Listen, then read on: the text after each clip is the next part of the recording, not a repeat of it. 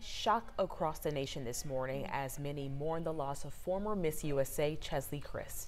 It's one of the stories we're following for you in the latest. Authorities in New York say Kryst died Sunday morning after jumping from the terrace at her high-rise apartment. Kryst, who is from North Carolina, was crowned Miss USA in 2019. She worked as an attorney as well as a correspondent for the celebrity TV show Extra. Moments before her death, the 30-year-old posted a picture of herself on Instagram. It had a caption reading, May this day bring you rest and peace.